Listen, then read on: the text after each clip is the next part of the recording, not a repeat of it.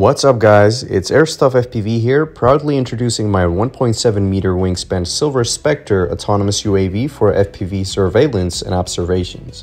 This particular FPV aircraft is redeveloped from my 1.6 meter wingspan Silver Shadow UAV from a year ago, which began to develop minor weak points in aerodynamics and durability over time. But all of that is addressed and solved in the process of building the Silver Spectre UAV with improved structural integrity, a different tail design, and other design changes to enhance its performance, flight time, and FPV experience.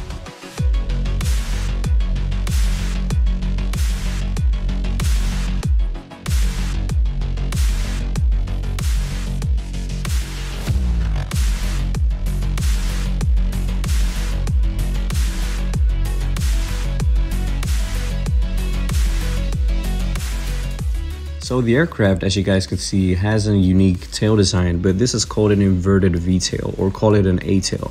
Comparing this tail design with its predecessor allows to see a couple of advantages I have over its predecessor. The first advantage over the previous design is having yaw control now. The previous design had just one servo in the tail to control for the elevator, but this design has two individual servos to control for yaw and pitch. And the other advantage I have with this inverted V-tail is its clearance from the accelerated air by the prop, enhancing flight efficiency as well. The other major reconsideration in this design was having a larger fuselage pod. The first idea was to get the motor further back than before to increase prop efficiency due to its clearance from the trailing edge and to accept larger batteries or additional camera gear without making the aircraft nose heavy. And with this larger fuselage size, I have the advantage of installing additional electronics like telemetry, transmitters, additional cameras, or batteries for improved flight times. So right now I want to call out the individuals that contributed to this build since the flying wing design, which are Jim Callan, Martin B, PCK1, Max R, Tom S, and 316 Leather at Instagram. So I'm very thankful and appreciative for these people who helped me buy the equipment needed to build this UAV and others to follow. I really appreciate you guys for supporting my hobby to design and fly custom built FPV aircraft with their own specialities. If you'd like to support me as well, feel free to check out this page on buymeacoffee.com and to get me going in these midnight build sessions because yes, this great hobby of mine kind of got out of hand and I'm doing my best to document it all for you guys. So I hope I got you guys excited and introduced well enough to the Silver Spectre platform and additional information about its flight time, efficiency, and handling will follow in the flight video. So before starting to build this aircraft, I'm going to provide you guys with this overview of all the electronics and materials I used to build this aircraft. Links are placed in the comment section and in the description, and there's a good chance they are working now, but if they still aren't working, you would just type in the name and still find them as well. So the first thing that we're going to build is the fuselage. The fuselage is 60 centimeters in length and you got the dimensions uh, right there. And we're going to use the Experimental Airlines technique to form the fuselage. That means taping the outer side of the fuselage for its protection and durability with your uh, chosen color of tape. And then afterwards, you're going to cut halfway through that foam board to form the shape when you uh, fold the uh, foam board over into its uh, shape. Then I use a ruler or like the sharp side of the ruler to widen the cut and to make the fold easier.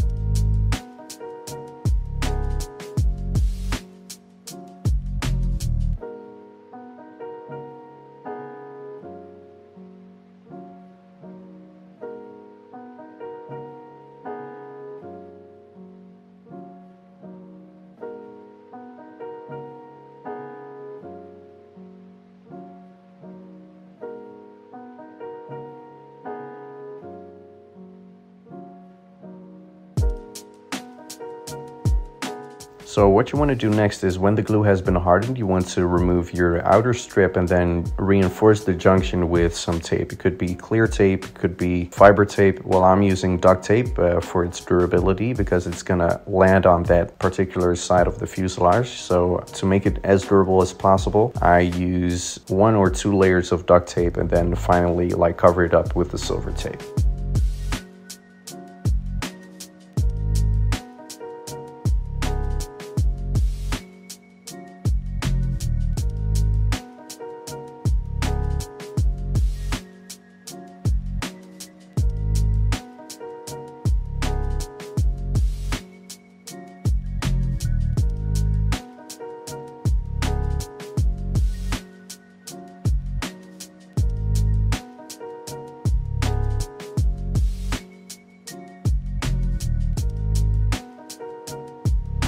So what we're gonna build next is the center wing section. This is 40 centimeters in its length. You could uh, make it more or less, uh, but this is the design parameter that I had in mind to make it 40 centimeters and it has a six inch chord.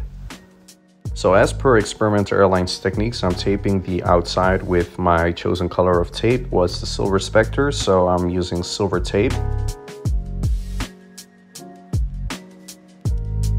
So for gluing the formers in place, I went ahead and first used a paint stick with the same uh, dimension. It's just one inch in its width and it's the entire length of the mid wing section. And the reason why I use a paint stick is because it's strong and light. Uh, this is because the mid section is going to be loaded and stressed the most. But all the other formers are just made of 1 millimeters XPS foam strips.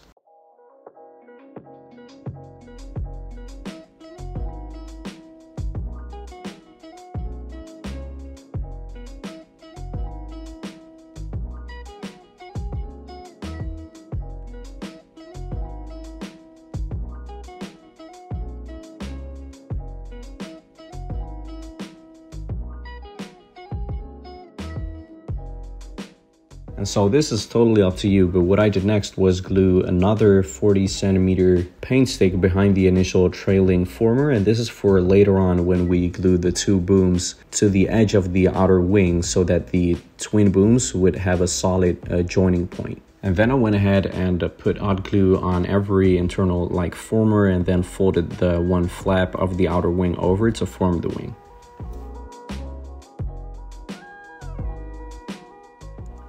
So what we're gonna build next is the inverted V-tail stabilizer structure. I have a plus sign in parentheses with XPS support because I'm gonna glue the bottom surface of the stabilizer with an additional layer of 5mm XPS foam.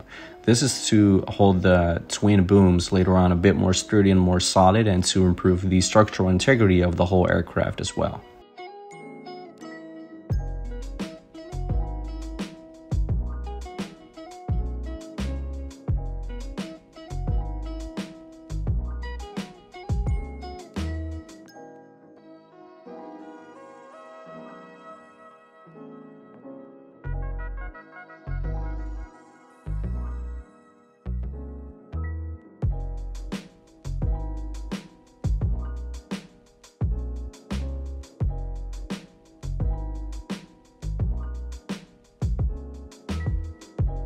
So with the additional layers of XPS foam board to make the tail more rigid and more solid, uh, it got a bit more blocky so I went ahead to work on its aerodynamics and make it a bit more uh, smooth on the edges.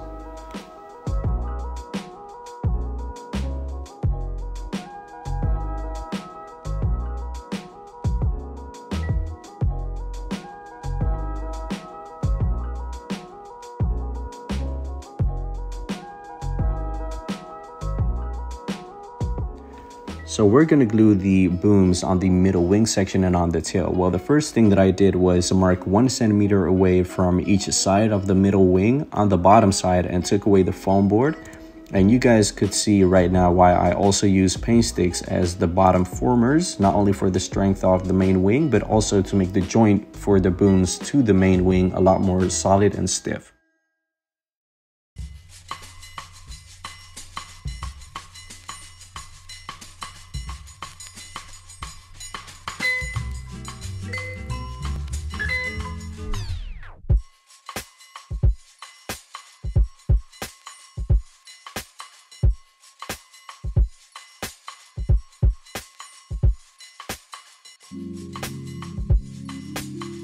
So after the glue dried on the front side of the booms to the center section of the wing, I went ahead and took the tail section and glued that at the rear of the twin booms.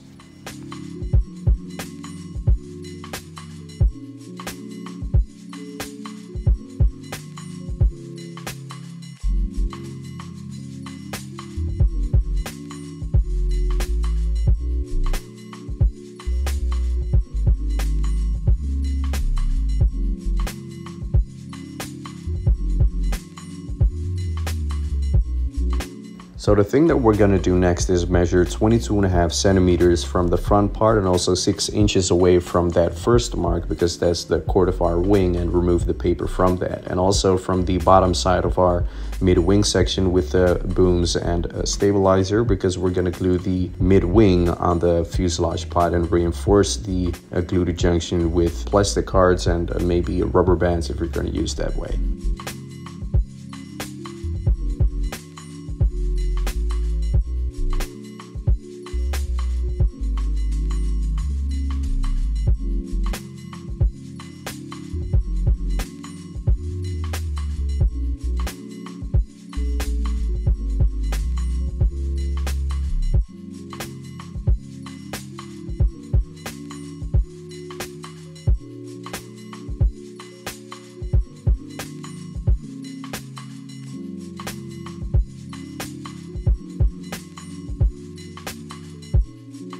And here you got the dimensions to form your two outer wings to be joined to the center wing. Uh, these are 65 centimeters by 6 inches in chord to uh, also match and fit in the center wing section. And these don't have to be as reinforced as much, so they're also made as light as possible with just XPS foam board formers only.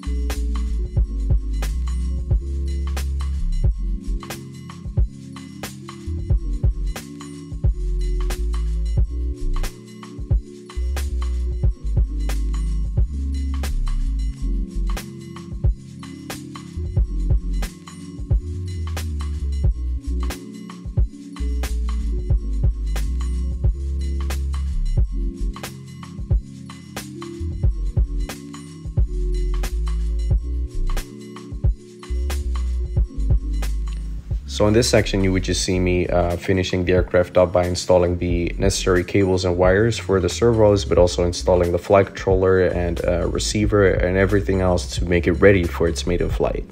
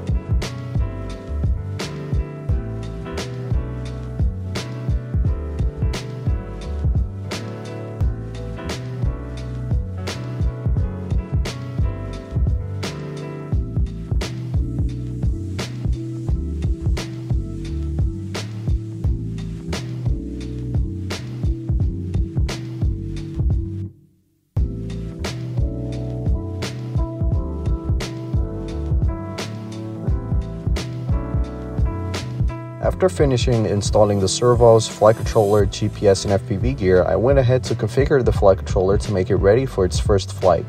To not make this video too long, I am leaving the maiden flight video with detailed information about its performance and comparisons for another day.